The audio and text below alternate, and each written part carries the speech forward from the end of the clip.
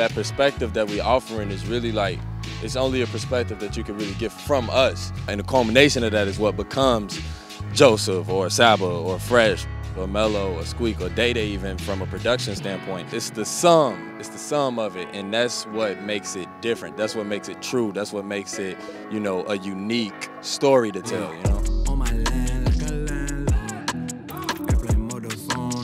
You got time on your side and you use it well, you don't never fit. I just got off parole. Little situation happened back, you know, when we first started out as a group. This is before Bucket List. Yeah. You're locked up that whole time? Yeah, we, this back when we was still shorty, still at the open mics, you know what I'm saying, with like No Name and Mick Jenkins and Chance and, you know, all the homies, Jamila Woods, all that stuff.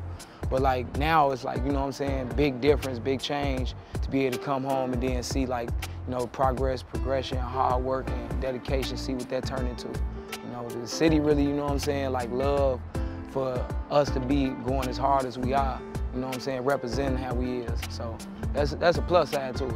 We got mad influence from the west side of Chicago, but as far as the new generation, I feel like they only talk about the south side.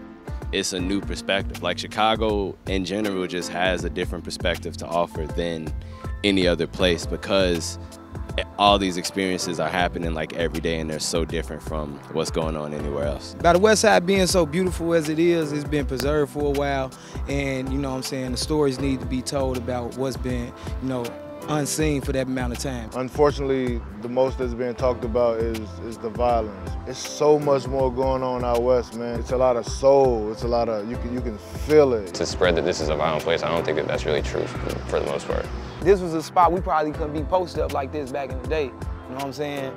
But it's good to be able to see, you know what I'm saying, people still coming out, you know what I'm saying, to the area and, you know what I'm saying, being able to bring their family out here, bring the kids out here. That's a that's a beautiful thing to see. Bro, everybody raps fast now, bro. Right. That's some west side stuff right there. That's the west side, bro. You know, the west side, we always been here. We always gonna be here. West side everywhere, west side worldwide. Pivot Gang, you know, we just a newer version of, you know what I'm saying, what the West Side bring. How did y'all begin making music and what were some of those early open mics y'all went to that let y'all sharpen y'all skill set? Well, they're brothers, and they're brothers, and me and him are brothers. You know what I'm saying? right, right. I went to school with Joe, Joe and Sab. Like uh, after we graduated, I like went over there and like to like hoop and it started rapping. Like I had never really recorded before then. Like I was really just starting to get to know them and I just stayed the week. Once we all met, it kind of just like stuck there. Because it's so many of us, everybody kind of had their own journey as far as when they began making music. But I would say when we began making music together is kind of when everything clicked.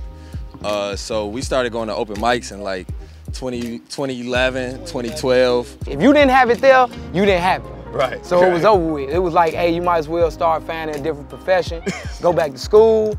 You know what I'm saying? Like, it's about that time to start picking your career now. Fresh used to hit all of the open mics in the city, so he just started bringing me with him. That's why I feel like I really learned how to perform. Like we was treating that like headlining stages, you know what I'm saying? It was just like once they call on that, because some days you would go to open mics and not get called. So it was like when they called us, we really took advantage, and that's why I learned how to perform and crowd control and all of that stuff. Pivot's been a thing for a while, and it used to be Rally, it used to be another thing, and then they they haven't put out music in a really long time, and I kind of came in and started being a big part of this, and this is the first group album that we've all made together. Fresh was gone for a while, and everyone was trying to build up their, Mel was trying to build up his thing, Joe was trying to build up his thing, Sab was doing his thing. I'm working on all their things, but once we got there, it just like wasn't even any thought to it. It was just like, cool, I'm gonna do my thing. Oh, you're rapping about this? All right, cool. Oh, I go get some lunch. Dawood and Squeak would make something. Sometimes I would just, like, I made Mortal Kombat. Sometimes I'll just make a, a schmacker, you know what I'm saying? I'll just make some, make some, I think I made that in like five minutes or something. What's the word? It's like a chemistry. You know, you work with people for years and years and years, and y'all just develop that, that sound together. I didn't even actually listen to rap until I was like 20. Really? Yeah, like at all. And now making some of the most important hip hop records of, of I got really into it because I really I was in school for drums. Right. And a friend of mine, he was like, dude, you would love like rap. I don't know why you don't listen to rap. It's like all rhythms. All the music is rhythms. All the all the vocals are rhythms. Like, and I started listening. I started listening to Lil Wayne and Flockabilly, and then I was like, damn, like this is awesome. Your father was a a musician too. Yeah, yeah, yeah. Yeah, you talk about that as well. What, what was your Mhm. relationship like with him? Did, were you close, and do you think some of your music acumen, your, your skill set comes Yeah, genetically? yeah, yeah. A lot of it, a lot of it. he did like R&B, neo soul. He produced, he produced some some hip hop stuff too. Uh, but he was like the first person who I kind of like seen doing music. So music was never like this like foreign concept. Like I think just pursuing art in general to most kids is like this crazy concept where like the older people in your life are kind of like making it seem like it's not a real thing. Right, right. But because my dad was doing it, it's kind of like taking over the family business or something like that. Like I believed from a young age that everything that I'm doing now was possible. And I think my father had a lot to do with building that up like that. I don't know, I think that's one of the biggest reasons as far as how I ended up in the position that I'm in is just from the information that my dad would give me from since I was young. She be with her girls, not no fellas, and they can get whoever they want cause they fit. I was watching Mortal Kombat video with the salsa. Like you had good salsa Latin sensation Bro, vibes. it's all about the footwork. yeah. Yeah. One, two, Uh huh. one, two. I, I don't know if I want to. One, two. Okay. One, two, one, two. And, Okay, this happening. and you move your hips with it. Uh huh. You know? Right. I don't know shit about salsa, bro. Why you had me do that? Cause I just knew you would, man. I just knew you would. What's your favorite moment on You Can't Sit With Us? Oh, my favorite moment definitely Colbert. You know what I'm saying? Colbert is just like it it, it, it take you on a whole different, you know what I'm saying, vibe. Like you just you there and you just like attached to it for that whole moment. You know what I mean? Mm. One sec, let me check that flight at O'Hare.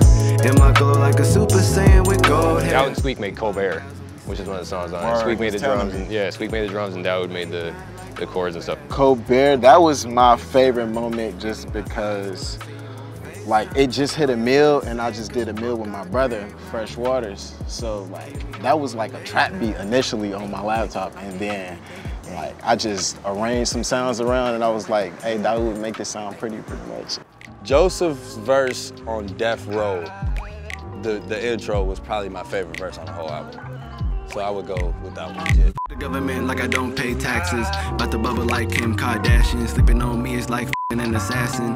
I got the juice like peach passion. I wasn't. this was my first time traveling somewhere just to work on music.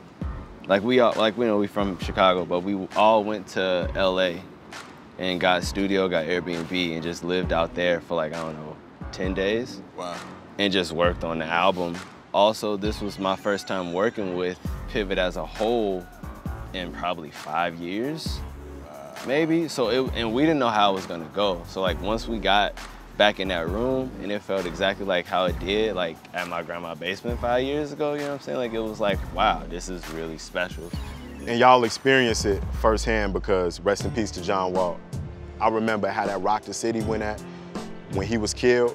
And for that to be captured on footage, Long performed as John Walt with the Chicago group Pivot Gang. He would later change his name to Dinner with John. as beautiful as the city is, there's so much ugliness that comes around. Talk about how losing John has affected the group and just his impact on, you know what I'm saying, on Pivot Gang, man, as, as a unit. that was a hard one, obviously, you know. Uh, but like even just outside of the music and the dynamics of the group, like we just used to seeing and talking to this man every day. You know what I'm talking about? Whether it's about music or whether it's just like what you doing today. You know what I'm talking about? And like to just have something like that, like randomly plucked away from you, like over something so unnecessary, was probably some of the craziest stuff I've ever had to deal with. You know, we lost a brother, and there's nothing that can replace him, uh, his energy, you know, his spirit. You see, like, the impact that someone has. Like, bro had an impact, you know, but, like, don't even get to see it, you know? So it's just like you you want to honor that, honor his life, and just, like, do it as do it even bigger. The motherfucker repping Pivot the hardest is not even on this earth right now. So it's like it just feel, you know what I'm saying, we feel that protection from from above, from below, from all around, you know what I'm saying? So it's yeah, yeah, yeah. Losing a member of the of the crew like that, losing the the, you know what I'm saying, like this everybody brother, this everybody best friend, this everybody homie. I feel like it brought us all closer together. Like we all had to we all had to face that together. It brought us closer together with a lot of people in the city, like that we wouldn't even thought. Now I look at it like a like an energy thing. Like Walt energy never left. Like how our bond, I feel like with each other got stronger after going through that because all we had was each other to really keep keep everybody up during that time. You know, we just doing our best to keep it moving, keep it pushing, keep building on the game. But y'all started a foundation in his honor.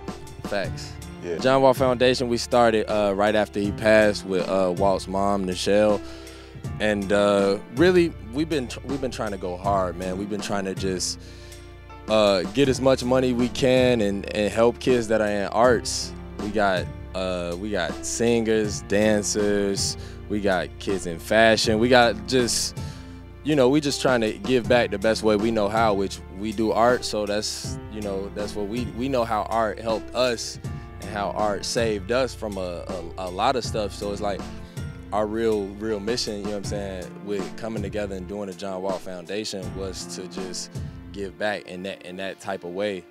Five years later, still making music together. Where do y'all see Pivot Gang five years from now? In five years, we're gonna all hate each other. and uh, Damn, really? in five years, it will have been three years since the last time we all spoke to each other. That's a dope. you know why that's so dope? That means you suc- every successful group has to hate each other for a period of time. Yeah, yeah, Yeah, I mean, you still love them. You know what I'm saying? These is no, I think with Pivot Gang, like it's just that family aspect that really make it so I don't really worry about that. You know, this my brother, they brothers. Like he said, they brother. Like you know what I'm saying? How has being a part of Pivot Gang helped you to grow as a man and as a person? Well, I got six brothers and one sister. So it's just like, that's always who I had, you feel me? So it's just like, that's who I was, I was just used to all the time. I didn't have like as many friends outside of that, just my family. So it's just like, when I got into this, it just showed me, you know what I'm saying? Like, you can have family outside of family. You know what I'm saying? Um, it just show you how to hold your own, just like, cause you see everybody's journey and you just see how everybody different in a way. So it's just like you learning and picking up things from each and one of those men. So you know what I'm saying? It just, you know, it helps you build your own character. They always ask me like, who yo, you know what I'm saying? Like musical um, inspirations, like who people inspire? I'll be like, my friends, my homies, my family, like, 'cause that's real life, you feel You know what I'm saying? If y'all were the cast of a 90s sitcom, what would it be called and what would the premise be? Colorism. Y'all snap. That's good. That's good. All the popular sitcoms in the 90s didn't acknowledge black people. Fact. It just it gotta be about uh, black people occupying white spaces. So it would just be a bunch of black people going to places where you know white people actually exist and they're not there. You know, uh, that definitely would be the most. That's the most important thing. I feel like we definitely got to do that. It's inspiring to see a group of like young black men be able to bounce off of each other and count on each other the way you guys do. It's rare that you see a group of men that can stand on their own but also support one another and produce a body of work together. What's the challenges in putting together a coalition like that? Man, it's it's like a it's like an NBA team. It's just like a team. You know what I'm saying? It's you gotta know your role. It's just like where is that in your position at right there and at that moment. You know, um, and just you know believing in one another. You know what I'm saying? Like it's like you gotta trust your teammates. You know what I'm saying? To you know get to the to the biggest success. Love, Locking in with me, Joe. Yeah, I appreciate you doing this with us, man. I'm happy that you from the crib and you sitting down to talk with us. That makes this even cooler, you know what I'm talking about? So I appreciate you, bro. you keep doing these great things, man. Gratitude. The, the city appreciates it. Mellow, man. Yeah, That's the only cosign I need right there. You We say the straight. city appreciate it. We good. for sure, for sure.